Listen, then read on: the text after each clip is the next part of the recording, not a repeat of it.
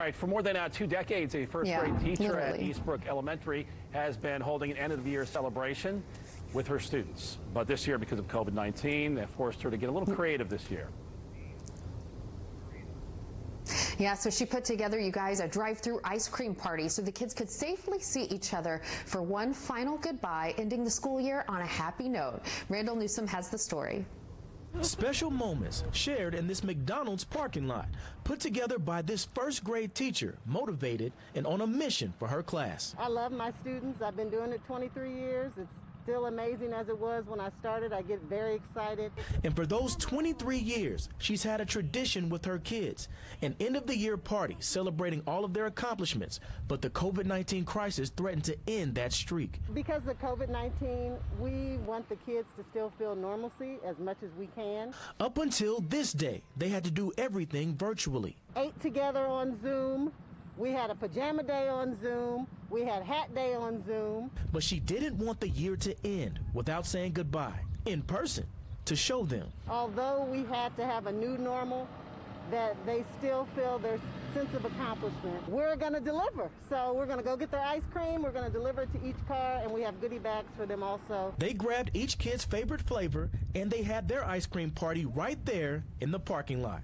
First, we had to get some ice cream reviews from the experts. Give me details. What kind of ice cream are we talking about right there? Well, it's actually just chocolate ice cream. I got vanilla ice cream, which is my favorite. Really good. I'm really good. Feel awesome. But hearing them talk about reuniting with their classmates made this story even sweeter. I'm like really happy that I get to see my friends now, even though we're still in quarantine. I Really miss them a lot. At least we could stay in touch with every Wednesday. So to pull in here and you know be hanging out the windows the way they are and seeing everybody, um, seeing the happiness in her, it's it's really amazing. This is going to do nothing but make for a great day, and I know she'll be talking about this for days to come. I'm just really happy for them that they got to get together and meet up.